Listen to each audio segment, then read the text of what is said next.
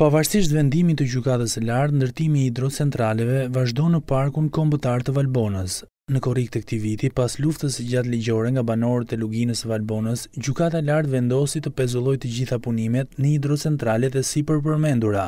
Aktivistja Rea Nepravishta denoncon se këto hidrocentrale po ndërtohen në paligjshmëri dhe qytetarët shqiptarë po humbin besimin tek ligji. Fatkeqësisht nuk është për t'u habitur që investitori po injoron plotësisht vendimin e gjykatës. Vlen të rikujtohet se këto projekte nuk ishin transparente që nga fillimi, pa dëgjesa dhe konsultime të duhura publike. Për më tepër u falsifikuan nënshkrimet e njerëzve, duke prishur procedurën ekzistuese për të mbrojtur interesat kombëtare dhe publike. Besimi i njerëzve për sundimin e ligjit në Shqipëri është në rrezik, Kur investitorët shpërfillin vendimin e Gjykatës së Lartë, sikur ligji të mos ishte i zbatueshëm për ta. Nepravishta sugjeron që qeveria të gjejë burime të tjera energjie për të mos dëmtuar natyrën.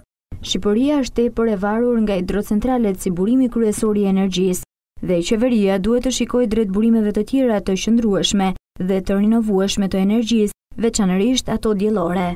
Por a do të reagojnë autoritetet kompetente?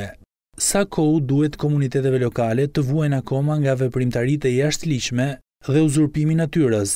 WWF Adria u bën thirrje të gjitha autoriteteve përkatëse që të zbatojnë vendimin e Gjykatës së Lartë dhe të ndalojnë të gjitha punimet e paligjshme në Parkun Kombëtar.